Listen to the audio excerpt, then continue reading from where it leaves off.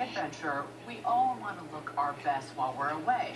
Today's top takeaway guest is going to show us how we can pack like a pro and fix unexpected fashion emergencies while on the road. Please welcome back to the show host of Something Borrowed, Something New, style expert Sam Saboura.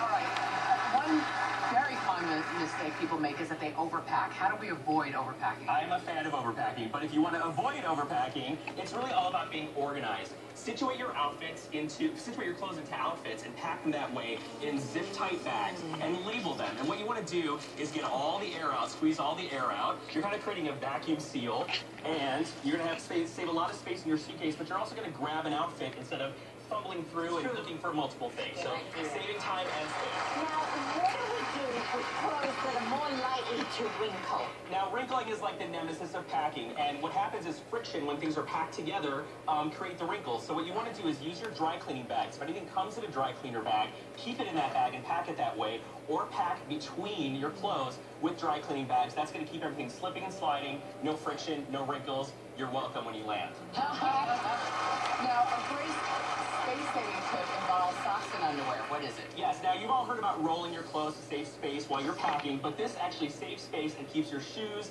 nice and in shape instead of putting a shoe tree in your suitcase, which makes things very heavy. So roll your socks, roll your underwear, shove them in. It's going to keep your shoes in shape.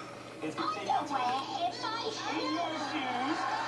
And if you are worried about smells and odors, shove a dryer